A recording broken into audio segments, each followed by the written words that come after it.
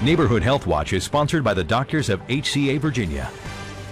Well, it can be a difficult decision for a parent to make. Should we take our child to an emergency room? And if so, where? It's become a bit of an issue now that the enterovirus has swept through the nation, forcing kids to be hospitalized for long periods of time.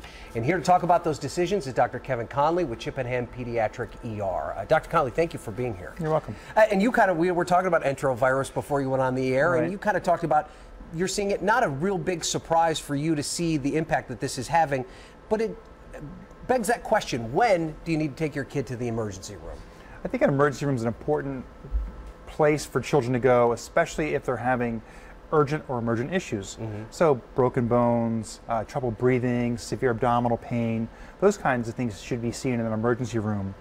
Things that can be seen in an urgent care center or your doctor's office are the more less urgent things pink eye, ear infections, mm-hmm. sore throat, cold kind of symptoms. Right. And, maybe a lot of people don't realize this, though. You have a choice in which emergency room you could, should go to.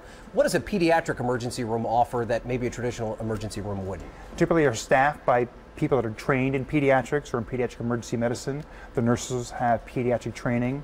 The equipment is made for children.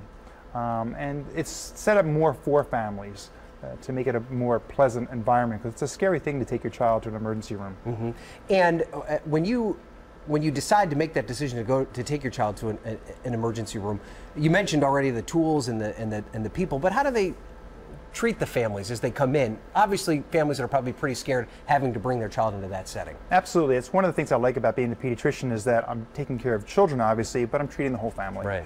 Um, helping the parents understand what's going on. I mean, they're bringing me their most prized possession to try to take care of, and that's a that's a big honor and responsibility.